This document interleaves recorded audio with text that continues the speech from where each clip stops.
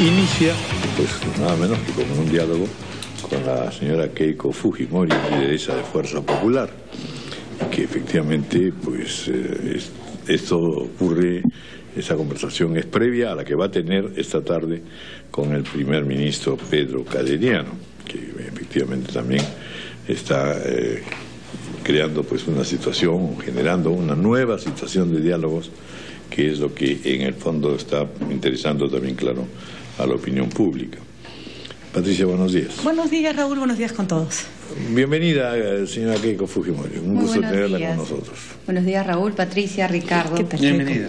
Bueno, lo primero es que ya, la verdad, se están volviendo caseritos todos los opositores y simpatizantes con el este gobierno, porque tienen cada rato diálogos, en fin. Este, pero en este caso particularmente pareciera que estamos en un tono distinto por un lado y también ante urgencias mayores, ¿no es cierto? Yo por eso voy a permitirme preguntarle dos cosas. Si está usted ya en campaña y por lo tanto todo lo que se diga y se hace tiene un comportamiento electoralista, que es lo que dicen un poco los oficialistas. Y en segundo lugar, si confía en que esta vez el diálogo no sea solamente pues de gestos fotográficos y saludos al inicio y a la despedida, sino que en efecto se pueda encontrar un cierto nivel de entendimiento, de convergencia o de conveniente eh, tranquilidad, que no parece ser lo que esté dominando el escenario. Bienvenida. Eh, don Raúl, buenos días. Em, yo creo que para la campaña electoral todavía faltan varios meses. Yo, la campaña electoral eh, de las elecciones generales empezarán en enero del próximo año. Em, ¿Qué es lo que yo veo? y permíteme retroceder un poquito en el tiempo y empezando a hablar desde la censura. Eh, las denuncias de reglaje hecho por la DINI son muy graves. En nuestro país, en el pasado, ya hemos tenido este tipo de, hechos lamentables y por eso nosotros consideramos que esto no puede ni debe volver a ocurrir. Es por eso que Fuerza Popular eh, actuado de manera responsable, pero también de una manera drástica. Los miembros del Servicio de Inteligencia de, de la DINI despachan directamente con el presidente de la República. Entonces, cuando hubo estas denuncias, ¿qué opciones tenía la oposición? ¿Censurar al presidente? No lo contempla la Constitución, ni tampoco es una intención de fuerza popular. Es por eso que frente a estos hechos y frente a la actitud de la primera ministra, que en ese entonces estaba advertida y prefirió mirar de costado, mm. es que se decidió optar por la censura. Pero es una censura no a Ana Jara, sino fue una censura y una medida tomada contra el gobierno del señor eh, Ollantumala. Con referencia pero, Esa, es una distinción un poco complicada, ¿no es cierto? Porque también eso no se ha entendido mucho. Es decir, la señora Ana Jara está rodeada de virtudes, pero igual queda castigada. Entonces eso, la verdad que no, no, sé hasta qué punto, por eso yo le preguntaría, ¿el diálogo que sostuvieron ustedes con Ana Jara fue prometedor, constructivo, podía haber llevado a un entendimiento? Porque la verdad es que después de un diálogo viene el, el golpeteo, entonces uno dice, no, no entiende. El diálogo, el diálogo en este gobierno lamentablemente está devaluado. Y lo han utilizado eh, el gobierno, el señor Ollantumala, como cortinas de humo, don Raúl, para tapar la eh, incompetencia y la incapacidad que tiene este gobierno para eh, acelerar nuestra economía, para luchar contra la delincuencia, para evitar los conflictos sociales y, claro, también para tapar una serie de denuncias que existe contra este gobierno. Sin embargo, eh, ahora que está el ministro Cateriano, además en aras y manteniendo las formas democráticas, he decidido el día de ayer, cuando recibí la invitación, eh, aceptar tener esta reunión eh, el día de hoy, esta tarde, a las cinco y media de la tarde. Sé que le estará acompañado del ministro de Economía y en nuestro caso me acompañará el secretario general de nuestro partido, el congresista Joaquín Ramírez. Soy escéptica no va con mucha ilusión. Qué difícil, ¿no? Porque yo justo ahora recordaba cuando las personas hacen insultos por redes sociales, es más fácil, pues, porque anda, pues, enfréntate a alguien y díselo en su cara. Y, ya a, todos hemos experimentado alguna vez tenernos que enfrentar a ese que te ha estado fastidiando por redes sociales y normalmente uno se encuentra con una persona mucho más insegura, mucho menos pechadora y además que tiene cierta vergüenza de su comportamiento. ¿Con qué cara se encuentra Cateriano con aquellos a los que ha estado fastidiando todo este tiempo, no? Mire, hasta el miércoles eh, de la semana pasada, el ministro Cateriano ha sido el ministro más confrontacional. Luego de asumir el cargo, él ha hecho, ha tenido una actitud más positiva, lo cual es, digamos, es, es bueno. Eh, Solo el tiempo dirá si es que él puede mantener esa actitud, si es sincera o si está aguantándose. Da, da muestra, digamos, de una cierta racionabilidad pero la razón pues a veces eh, se perturba. Eh, Entonces ahí sí la cosa es complicada. Y, yo por eso, como dije hace un momento, soy escéptica del buen desempeño que podría que podría tener el señor Cateriano, pero no por él, sino por la actitud del presidente de la República. Pues. No ha pasado una semana desde el cambio eh, del gabinete y el presidente de la República boicotea ya el trabajo eh, de consensos que quiere generar eh, el primer ministro, calificando a la oposición de jauría, por el solo hecho de, digamos, defender a, su esposa. Entonces, yo le diría al señor Cateriano, usted no tiene que cuidarse de la oposición, más bien tiene que cuidarse de la actitud de su jefe. Pero el presidente es una recomendación que se le formula no solamente la oposición, no solo a Cateriano, sino la hemos escuchado formulándosela a los anteriores jefes de los gabinetes ministeriales. Pero la invitación y la reunión es una realidad que va a tener eh, lugar esta tarde. Y además, este, Alan García, el expresidente, también, en palabras muy amables, ha respondido a la invitación que le ha formulado el señor Pedro Cateriano, quien después de mucho tiempo lo llama eh, expresidente, antes lo usaba otros, otros títulos para dirigirse a él y cuando hace alusión a Jorge del Castillo, el doctor Jorge del Castillo, es otro el tono. Eh, si nos podemos olvidar un momento de lo que puede ser un exabrupto del presidente al momento de defender a su esposa, este, y al margen del escepticismo, ¿cuáles son los temas que tú puedes o vas a plantear en esta reunión? Teniendo en cuenta que él llega, por ejemplo, eh, me parece que un claro eh, síntoma de qué temas quiere revisar al ministro de Economía consigo. El día de hoy yo lo voy a escuchar al primer ministro con respeto y con disposición. Y esa va a ser la misma actitud de mi grupo político el día que él vaya al Congreso de la República a pedir el voto de investidura. Sin embargo, la decisión se tomará después de escucharlo, después de escuchar sus planteamientos y después de saber si es que existe un planteamiento, una estrategia y acciones concretas que él tomará. Porque claro, el diálogo hasta ahora, don Raúl, no nos ha llevado a ningún resultado. ¿No? La ruta de estos diálogos no ha servido de mucho.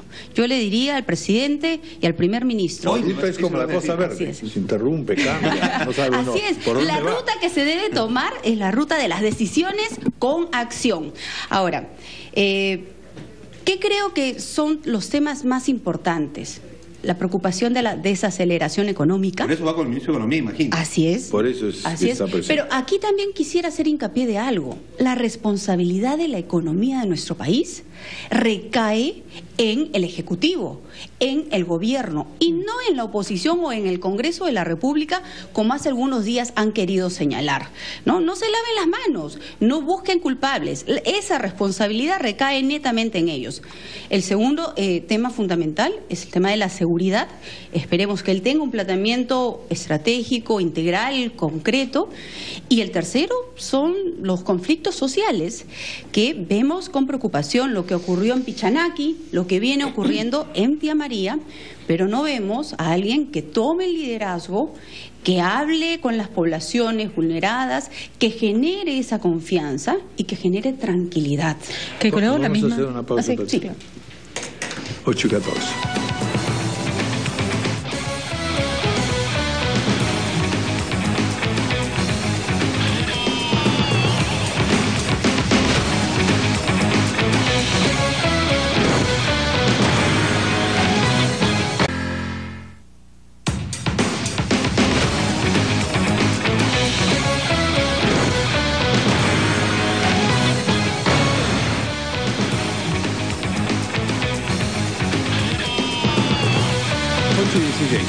Continuamos conversando con la señora Keiko Fujimori Fujimori, lideresa de Fuerza Popular. Patricia. Sí, eh, Keiko, yo quería hacerle la siguiente pregunta porque eh, vamos a asumir que el señor Cateriano es el último premier de este gobierno, que por cierto es deseable que lo sea, porque es mucha inestabilidad con cambios de, de Eso también se lo preguntaré, porque había el rumor que él también quería ser candidato. Candidato, así es, lo cual sería una responsabilidad, tomar un primerato por tan pocos meses.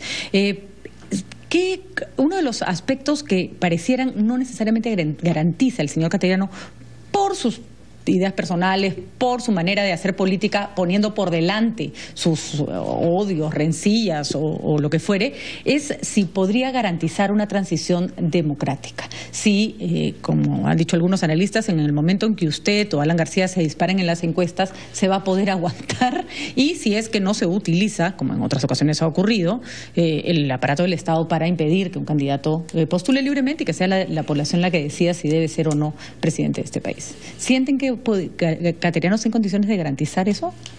Hay mucho recelo dentro de mi grupo político eh, sobre esta sorprendente actitud que ahora vemos conciliadora por parte del primer ministro. Hay que darle el beneficio de la duda. Probablemente está asumiendo ese cargo con mucha responsabilidad. Ojalá así sea. Porque yo creo que un hombre de Estado tiene que dejar sus pasiones, sus odios, sus ideas personales y trabajar por el bien de todos los peruanos. el problema con Y el bien de todos los peruanos significa también incluir al APRA y al Fujimorismo. El problema con Cateriano es que ya ha sido un hombre de Estado y no lo ha hecho. Entonces, a mí me da risa cuando dice, ahora sí lo voy a hacer, pero usted ya fue ministro años, ¿no? Y ya hicieron un ministro de ser un hombre de Estado, ¿no? Claro, y ahí la, preocupación no solamente es por él, sino por la actitud irresponsable del presidente de la República. Yo tengo la impresión que en realidad, para que se pueda tener una conversación relativamente constructiva, quizá uno debe partir no solo de ver el efecto y la desconfianza que genera el interlocutor, sino también preguntarse, bueno, ¿cuál ha sido nuestra actuación hasta el momento? ¿Y qué repercusiones va teniendo esto en el quehacer político en mm. general y sobre todo ante el ciudadano que la verdad es que no perdona ni a uno ni a otro. Es decir, aquí está viendo que en verdad eh, esta discusión política tan frecuente en el Perú, estas enemistades que inmediatamente agarran el pasado y empiezan a revolver, el papá era un bandido, el gordo es gordo, etcétera, etcétera. Sinceramente eso, desde el punto de vista de la opinión pública, es desastroso. Entonces, primero el país se ve de alguna manera eh, perturbado, pero en segundo lugar, la verdad es que el, ciudadano siente que no tiene arte ni parte en esta historia y que le gustaría oír otro tipo de discusión, construir. En este momento deberíamos estar reunidos todos para decir cómo enfrentamos el fenómeno del niño, qué hacemos con la eh, eh, retracción económica. Pero desgraciadamente eh, allí empiezan estas desconfianzas. En otras palabras, yo le escucho a usted, señora Keiko, y digo, está también atenazada por este tipo de solo contraste y desconfianza. ¿Será posible hallar otra vía de inteligencia que es lo que está reclamando el país? Eh, Raúl, quien dinamita los, a los primeros ministros es la pareja presidencial. Quien genera las crisis ministeriales vienen de Palacio de Gobierno como usted mismo ha recordado, porque hay agresiones, insultos, calificativos innecesarios, como por ejemplo denominar jauría a la oposición o decir que el Fujimorismo nace de la cloaca. Sin embargo, somos también nosotros conscientes que no podemos caer en ese juego. Entonces, por nuestro lado, hemos actuado con prudencia y con responsabilidad. A nosotros nos dio mucho gusto cuando hace algunas semanas atrás en el Congreso de la República se decidió debatir temas de reforma electoral. Y ahí estuvimos. Y a pesar de nuestras grandes diferencias y los insultos de por medio que tuvimos, de los que recibimos, perdón, se apoyaron y se aprobaron reformas importantes en nuestro país. Eh, en los paquetes económicos también han contado con el respaldo de nuestro grupo político. En nuestro caso, vuelvo a repetir, hay desconfianza, hay recelo. Soy escéptica de estos diálogos porque hasta ahora no han generado eh, ningún resultado concreto para la población. Pero por nuestro lado vamos a mantener las formas democráticas y escucharemos con prudencia, con responsabilidad y con respeto esta tarde al primer ministro cateriano. Ahora, con respecto a lo que está ocurriendo ya, eh, no solo en el ámbito del Ejecutivo y de este gobierno, sino los actores políticos eh, que se sospecha irán a, una contienda electoral en el 2016, ya sea usted candidato o no, el fujimorismo va. No eso está clarísimo. Ha habido, hay demasiado ruido alrededor de precandidaturas, por decirlo de alguna manera. Su padre ha salido el otro día fehacientemente a descalificar al, al presunto candidato Mauricio Vizcanseco, que está reuniendo firmas recién, porque eh, usa el tema del indulto y porque parece estar colgándose de algunas ideas propias del Fujimorismo. ¿Qué está pasando? O sea, a mí me, es... Eh, eh, ¿Se han puesto a pensar qué va a pasar si otros candidatos enarbolan la bandera, por ejemplo, del indulto con respecto de su padre? ¿Qué, actitud debe tomar el Fujimorismo? ¿Cuáles van a ser las, este, de quiénes se van a tener que distinguir? Entiendo que hay espacio, de acuerdo a las encuestas, para un outsider. Entonces hay que ver con respeto a cada una de las precandidaturas que, eh, digamos, vienen saliendo a la luz. Sin embargo, hay que esperar primero que formen su partido político y que planteen ideas y un plan de gobierno serio concreto para nuestro país. Con referencia al indulto, que un candidato salga a decir yo voy a indultar a Fujimori. Bueno, mi padre se ha, se ha indignado y es por eso, eh, por esa razón, que él ha pedido que no se toque su tema como parte de una campaña electoral para que no lo utilicen a él como un pretexto. Pero ha dicho algo más, ha dicho, no tienen que decirlo otros candidatos, porque evidentemente es una utilización política de mi tema, y porque además, él dice, estar seguro de que usted va a plantear ese tema en, en la campaña, no de pronto, sino una vez llegado eventualmente a la presidencia. En nuestro caso, el tema de la libertad de mi padre siempre lo hemos manejado desde la familia y a través de las vías legales y constitucionales, más no políticas. Tan es así que hace unos par de meses atrás se especuló la posibilidad incluso de presentar un proyecto de ley que beneficie a personas mayores de 75 años mi grupo político tomó la decisión de que una iniciativa de esa naturaleza no va a salir de nuestro lado. La agenda de Fuerza Popular es la agenda del Perú y la familia de Alberto Fujimori, nosotros vamos a seguir luchando por su libertad a través de las vías legales y constitucionales. No lo quieren personalizar, pero hay algunos que insisten en el tema. No del indulto, sino más bien a, propósito de la figura de su padre, dicen Julio Cote, por ejemplo, Mario Vargas Llosa, por ejemplo, y se va a actuar él en esta campaña electoral para impedir que usted sea presidenta porque dice usted representa la continuidad y las mismas malas formas eh, del gobierno de su padre, en palabras de ellos, ¿no? Todavía hay personas, cada vez menos, que tienen odios. Y yo les diría que tenemos que mirar hacia adelante. Eh, el Fujimorismo ha hecho grandes reformas y la transformación de nuestro país. ¿Cometió errores? Sí, por supuesto y hemos aprendido de esos errores que nunca más se van a volver a cometer. Pero hoy nuestro partido político viene trabajando en aras de una renovación eh, y de una participación grande que permita además que Fuerza Popular perdure en el tiempo, que se convierta en un partido nacional que trabaje por el desarrollo y el cambio de nuestro país.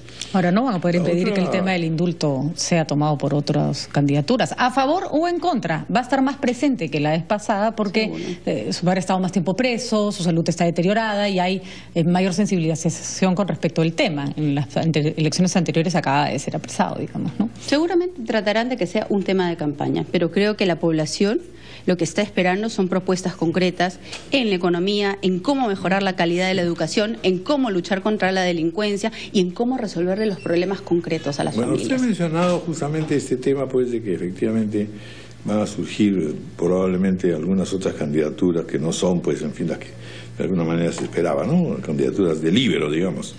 Pero lo que también se especula es que en verdad ninguna de las agrupaciones que van a entrar a la contienda electoral tienen asegurada una proporción mayoritaria y que entonces no hay que descartar también alianzas. Y entonces ahí vienen eh, disputas de decir, a ver, ¿a quién le convendría que Keiko se juntara con PPK? Que, sería, por supuesto, ideal una aproximación APRA, APRA este, Fuerza Popular. Eh, ¿Tiene usted alguna... Eh, perspectiva, digamos, de que en, este recorrido ha tenido mayor proximidad o alguna convergencia con algunos otros partidos y agrupaciones políticas? Desde el Congreso de la República, don Raúl, eh, Fuerza Popular viene articulando con diferentes partidos políticos nacionales decisiones digamos, que se ven reflejados en aprobaciones de leyes en beneficio de la población. Con referencia a la estrategia que se trazará para las elecciones del próximo año, Fuerza Popular ha venido trabajando y sobre todo en la elección municipal y regional del año 2014 em, con un espíritu de puertas abiertas y con buscando pues la renovación y la apertura de nuestro partido. Entonces, estamos trabajando para hacer alianzas con movimientos regionales a nivel nacional. Eh, no quiero adelantar nada por ahora, pero hemos, estamos avanzando en ese sentido. Los movimientos regionales son conscientes que necesitan de partidos nacionales y nosotros como un partido nacional entendemos que tenemos que trabajar de la mano con las regiones, que es fundamental para su desarrollo.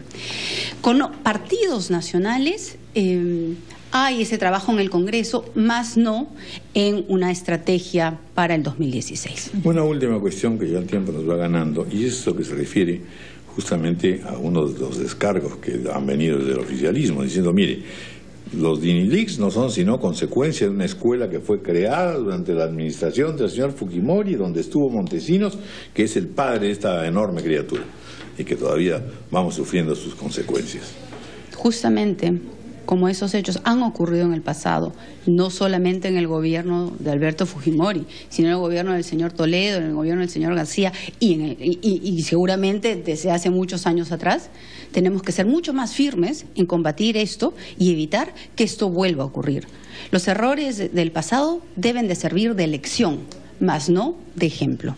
A través de las redes sociales que antes que el tiempo se nos acabe, eh, eh, Julio Alizú ex procurador anticorrupción, uno de los más eh, duros este, y este, persistentes este, acusadores del Fujimorismo, ha denunciado que eh, a propósito de los 23 años que se cumplieron en el autogolpe, tu padre ha recibido, en todo caso ha dado un banquete eh, con una cantidad este, exorbitante de pescados que ingresaron a su, a su centro de reclusión. ¿Qué hay de cierto en eso? Bueno, eso es falso. En primer lugar, yo le preguntaría al señor Arbizú de dónde ha encontrado esa, esa boleta. Eh, así es, esa guía de remediación, que pertenece al señor eh, Teque, que es un distribuidor de pescados. El mismo señor Teque lo que ha declarado es que fue y le entregó a mi padre seis kilos de pescado. Pescado que él utiliza para su consumo diario y sobre todo cuando van mis hijas también a visitarlo. No ha habido tal banquete, no se han entregado... 80 kilos de lenguado. de ninguna manera. Ese señor lo que ha declarado es que todo ese pescado después ha sido distribuido en el mercado mayorista, como es correspondiente. Por muy buen cocinero que sea, Alberto no, necesita tanto. Es demasiada cantidad. bueno, muy bien. Muchas gracias. Eh, gracias a ustedes. Y estaremos, eh, por supuesto, en contacto permanentemente y vamos a ver, vamos a ver qué resulta de este diálogo en el cual, en verdad, una vez más, eh, naturalmente la atención pública está muy preocupada. Muchas gracias. Gracias. 8 y 29 minutos de la mañana, vamos a hacer una pausa.